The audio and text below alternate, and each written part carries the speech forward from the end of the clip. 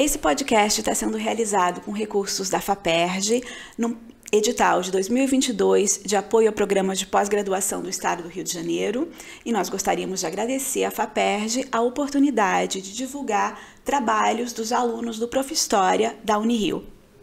Eu, Vera Borges e minha colega Suzana Sesco estamos aqui na Unirio, na URCA, é, temos episódios que vão ser é, apresentados, os temas são diversos, passando por é, sala de leitura, por samba, escolas de samba mirim.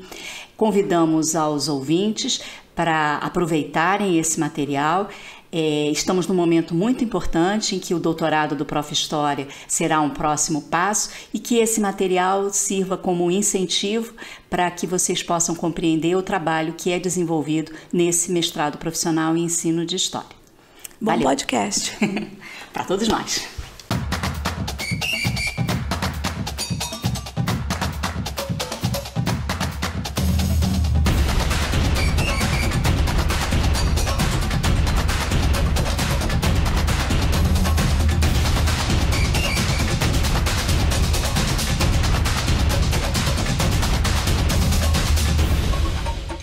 Sou Ana Maria Silva Figueira, mestranda do Prof. História da Universidade Federal do Estado do Rio de Janeiro e ingressei no Prof. História em 2022. É, tenho experiência no ensino fundamental, médio e na educação de jovens e adultos. E atualmente eu leciono é, em duas escolas municipais, uma no município do Rio de Janeiro e outra no município de Angra dos Reis.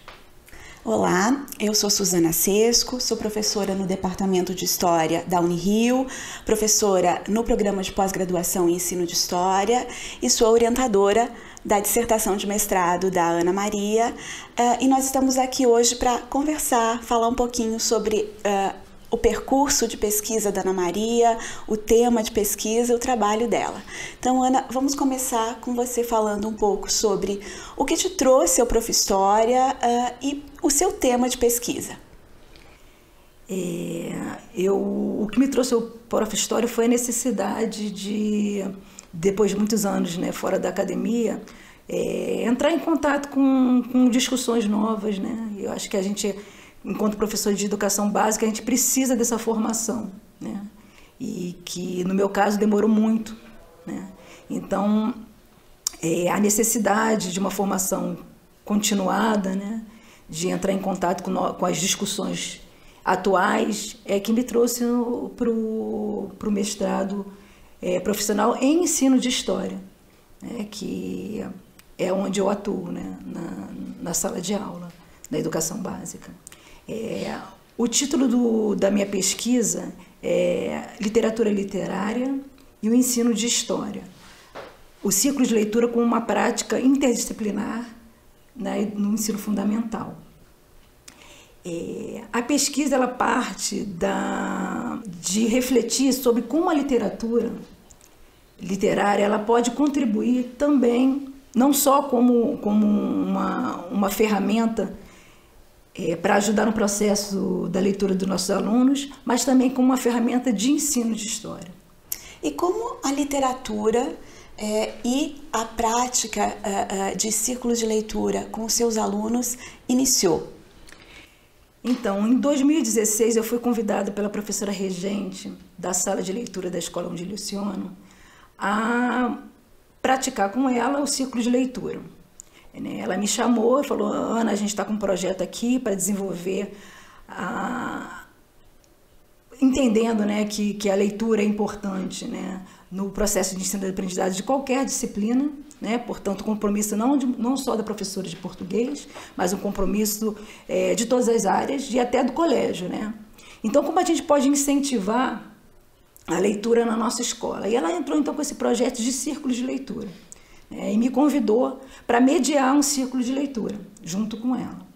É, a ideia era que a gente buscasse no acervo da escola a, livros de literatura infantil juvenis né, que pudesse, no meu caso, é, dialogar com o ensino de história. Então, a partir daí, a gente praticou no ano de 2016 e no ano de 2017, né? Aí depois veio a pandemia E em 2022 a gente retornou com o projeto. É, depois a gente sabe que algumas, muitas coisas acontecem na escola, né? Ela não pôde mais ficar como professora regente, teve que voltar para a sala de aula, né? E a partir de então eu comecei, eu, eu gostei da ideia de praticar círculos de leitura, né? De praticar a, a leitura compartilhada e eu dedico parte da minha, da minha carga horária a ler com os alunos. Você está falando de leitura compartilhada, de círculo de leitura. Como isso funciona na prática, no cotidiano da sua sala de aula? Como você seleciona os livros? Que livros são esses? Como eles entram no cotidiano da sua sala de aula como professora de história? Então, geralmente, né, a nossa memória de literatura com história, é, geralmente o professor indicava os livros, né, sempre é assim, é, a gente faz a leitura solitária em casa e, posteriormente, há aquela avaliação para saber se o texto foi compreendido e se a leitura foi feita. Né? A ideia do ciclo de leitura é que a leitura seja compartilhada. O que, que significa a leitura compartilhada? Né? Que o entendimento do texto ele se dê de forma coletiva né? e integradora. É, então, as discussões, é, elas são feitas de forma coletiva, mas para isso eu entendi, né, que isso, isso, esse entendimento se deu muito mais depois do Prof. História, que não bastava ler, né? Eu lia previamente os livros, mas isso era pouco. Era preciso planejar atividades que ajudasse nessa, nessa, nesse processo da leitura, né? E que não fosse uma atividade, uma atividade estilo prova, mas fosse uma atividade que realmente acompanhasse a leitura e ajudasse no entendimento do texto e a promover discussões. Né? E os livros que eu escolhi eram livros que estavam disponíveis na, no acervo da escola, que foram selecionados para professores pelo seu valor estético, né? É, e que, que estavam de acordo com, com a faixa etária dos alunos e que tivessem quantidade, para cada um ter o seu livro e acompanhar a leitura. É, ao ser apresentado esses livros, eu dei. É, eu encontrei alguns livros que, eu, que eu, eu acreditava que tinha esse potencial de também fazer uma. uma que além de, de, de trazer né, um benefício da leitura, poderiam ser aproveitados também para o ensino de história. Né? Então, que promovesse um letramento não só literário, mas também um letramento histórico. É, e, foram obras variadas. Né? Tinham é, biografias romanceadas, tinham romances historicizados, tinham é, histórias em quadrinhos. Né? Então, de acordo com a turma que eu tinha, eu fazia a escolha do, do livro que eu achava que era melhor para aquela, aquela série, para aquela turma. Né? E, eram, e são bastantes livros que a gente pode aproveitar para essa prática. Na sua dissertação, na sua pesquisa de mestrado, você selecionou alguns livros para analisar e para transformar uh, no seu texto. Uhum. Uh, mas também uh, você tem uma proposta de um produto pedagógico que será o resultado final junto com a dissertação. É, você podia falar um pouquinho sobre os temas desses livros que você selecionou para serem analisados no decorrer do mestrado, na pesquisa, e uh, sobre o seu produto pedagógico e como ele pode uh, uh, ajudar outros professores que queiram adotar essa experiência? Qualquer livro de literatura eu acho que cabe em qualquer série. Mas como a gente está dentro da escola, é necessário que ele combine com o currículo, né? Com, com o currículo que a gente tem que seguir. Então eu via que algumas temáticas elas se encaixavam em determinadas séries. Então, é, existe, um, existe, existe um livro, né, que é uma série muito famosa, que trabalha é, o Egito Antigo, né? É, teve é, outras séries, outro, outros livros também que eu, que eu encontrei no acervo, né?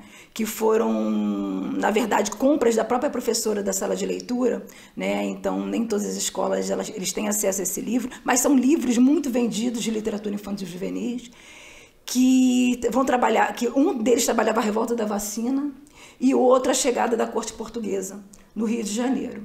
E tem um livro que foi distribuído pelo governo federal. Então, é, grande parte das escolas do Brasil inteiro eles têm acesso, que é uma biografia romanceada de Nelson Mandela, né? E cabe a qualquer série, né, em qualquer momento, né, a discussão que aquele livro propõe.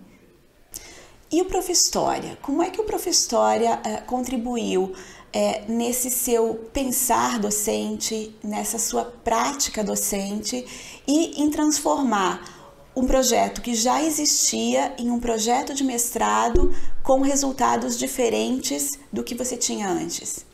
Então, quando eu, quando eu fui chamada para mediar esse ciclo de leitura, é, na verdade eu nem sabia como se fazer isso, né? E fiz de forma meio que intuitiva. Então, eu acho que o Prof. História, ele me deu, é assim, a base teórica, né?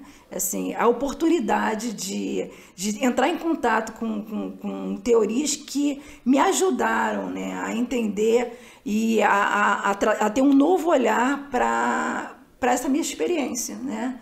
É, para minha prática mesmo, né? É, transformando algumas coisas, né, que eu acreditava que estavam que estavam num caminho que eu vi que não era bem assim, né, que podia ser feito de forma diferente.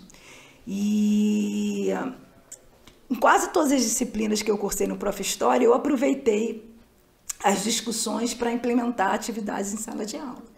Então, o Prof História, ele realmente, ele, como eu mesmo no texto da minha dissertação eu cito, a gente enxerga no professor é, da, é, dos, nossos, dos nossos colegas aqueles que estão em contato com a, com a academia e com as novas discussões, porque eles trazem para a escola é, atividades é, diferentes, né? É, planejam, é, diversificam a metodologia, as ferramentas né? e dinamizam mais o ensino. O seu produto pedagógico final é uma proposta é, nesse sentido. Fala um pouquinho sobre ele. Então, o meu produto ele foi pensado para o professor. Né? É um convite para que os professores eles é, é, se arrisquem né, a praticar o ciclo de leitura. É, então, ele é um roteiro com atividades que vão servir para acompanhar o processo da leitura né? Com, com o objetivo de, de, de que a compreensão da leitura se dê de forma coletiva e que proporcione debates, discussões entre os alunos. Ok, você está numa fase final de redação do trabalho. É, eu queria agradecer, dizer que está sendo um prazer trabalhar com você, estou aprendendo muito. É, não é simples a gente trazer para a academia, como a Ana Maria e os outros alunos uh, do Profistória, os outros mestrandos do Profistória, que são professores, que trabalham cotidianamente na sala de aula e ainda uh, uh, agregam a, a, a tarefa de desenvolver uma pesquisa de mestrado. Então, os resultados são sempre positivos? Sim, porque é uma prática nova, é uma experiência nova, mas pessoalmente o trabalho da Ana Maria é, é muito interessante, acho que vai contribuir muito. Tem contribuído para a prática dela como professora da rede básica, mas também é, pode servir para outros professores. Então, Eu queria obrigada. agradecer também a você, Suzana, pela sua orientação, pela sua paciência, pelo seu entendimento da gente ser. É, alunos, mas também ser professores, né, que trabalha, que a gente trabalha no ensino básico, né, de forma exaustiva, correndo de uma escola para outra. Então, é, você tem essa paciência e esse entendimento que são fundamentais para que eu termine, conclua a minha dissertação. Tá quase chegando lá. Obrigada, Ana Maria. Obrigada, gente.